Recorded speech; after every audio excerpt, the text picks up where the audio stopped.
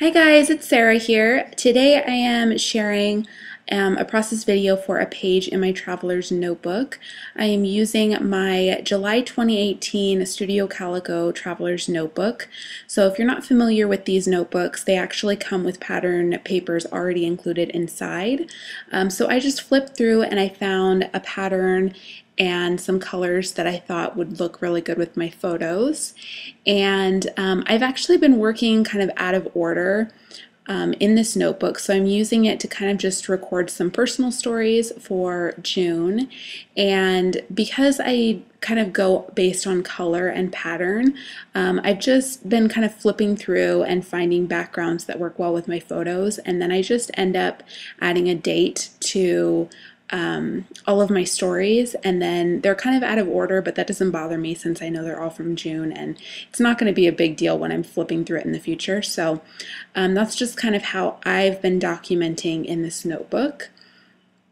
So I'm documenting um, kind of our first barbecue of the summer and I pulled out a couple of these old Kelly Purkey stamp sets. She definitely knows what she's doing when she um, designs these food themed stamp sets. I always love um, kind of the sentiments and the different illustrations that she puts in these stamp sets. So I have a couple of my favorite here. And I thought I would stamp out the sentiment um, and include it on the left hand side, but I end up kind of scrapping that idea. Um, I've kind of learned my lesson with um, not cleaning my stamp sets. I've been so bad in the past with not cleaning my stamps, and I just ordered myself a chamois so that I can do a better job of doing that. Um, but I have quite a few stamps that I do need to clean and that was one of them. So I wanted to stamp it using a lighter colored ink but it just ended up being a huge hassle so I decided to scrap that idea and I'm moving in with this other stamp set. I think it's called Taste Like Summer. It's another um, Kelly Purkey stamp set that came out probably a couple of years ago and I just stamped this directly in the middle of the right side and then I'm going to go in with a little um, circle here that says on the grill and it has this cute little barbecue in the middle. And I want that to be placed right above the Taste Like Summer sentiment. So you'll see me kind of mask off the area um, below the circle. I kind of want it to run into the words. So I'm just going to mask it off a little bit and then stamp it on there. And I'm using some um, yellow Kelly Purkey ink to do that. So here I'm just going to mask this off and stamp it down. It's a great way to kind of create a cluster of stamps.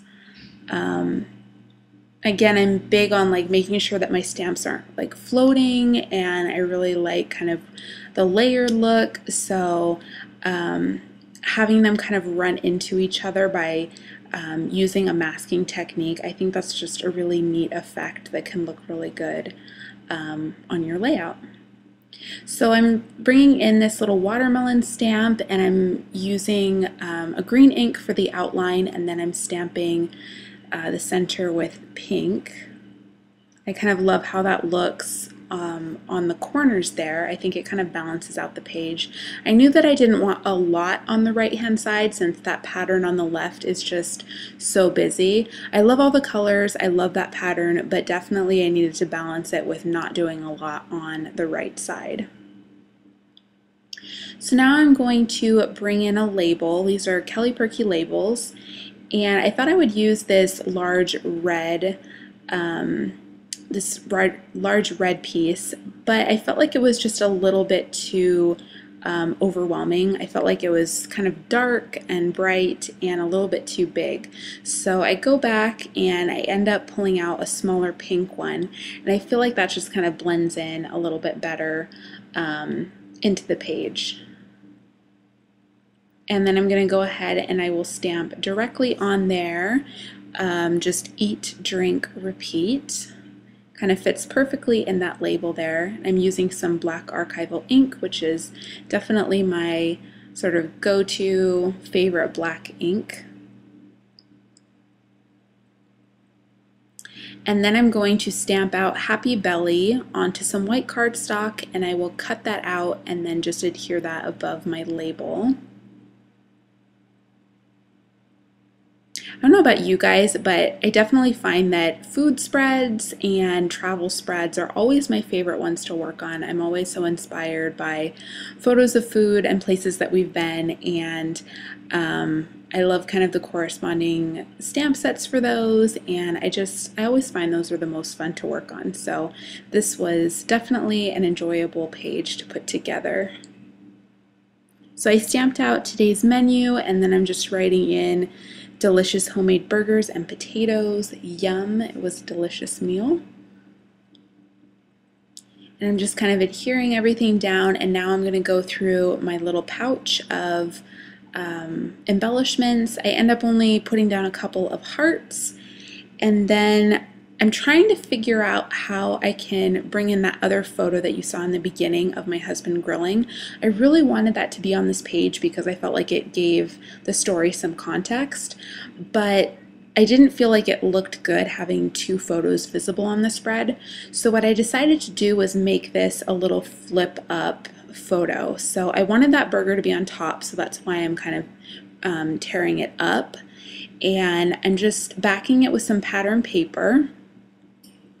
And then I'm going to use some washi tape just to make it a um, flip up photo. So I'm going to adhere this one directly onto my spread and then I will use washi tape um, just to adhere it so it can kind of flip up. And I'll do that on both sides just to reinforce it. And I feel like that works perfectly. It's kind of like um, just a happy solution for being able to include both photos but only making one visible while you're um, kind of flipping through. So that will complete my spread. I hope that you enjoyed this video. If you did, please give it a thumbs up. Um, and if you would like to see more videos, please consider subscribing.